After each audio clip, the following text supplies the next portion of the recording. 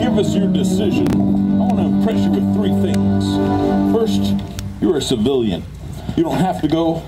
No way of our making you go. Second, this is a very dangerous mission.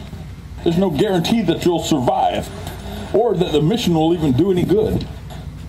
And third, that it might do a great good. It might be the means of turning the tide of war in this area. I understand all these things. Are you ready to give us your decision? Yes. My answer must be no. You see, when a man faces death, he must weigh his values very carefully. He must weigh the sweetness of his life against the thing he's asked to die for. The probability of death is very great for both of us, Lieutenant. Do not believe what you ask me to do is. We're asking you to help us lick the Japs. It's as simple as that. We're against the Japs. I know what you are against.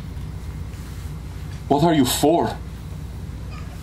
When I was 22, I thought the world hated bullies as much as I did. I was foolish, and I killed one. Since then, I have asked no help from anyone or any country. These bullies have multiplied and grown strong. The world sat by and watched. Oh, to hell with this, de Becque. Let's be honest. Aren't you just a guy in love with a girl and you're putting her above everything else in this world?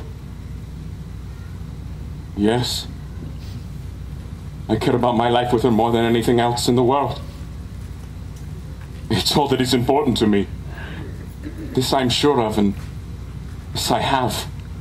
I cannot risk to lose it. Good day, gentlemen.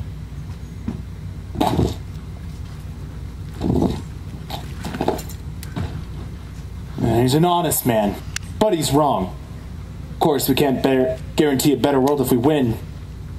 Point is, we can be sure it'll be far worse if we can't, if we lose, can't we? Well, can't we? Of course. Cable. Bottle, bottle of scotch in my bottom drawer. I'll see you tomorrow. This is the bottle he's talking about. Sir, Captain.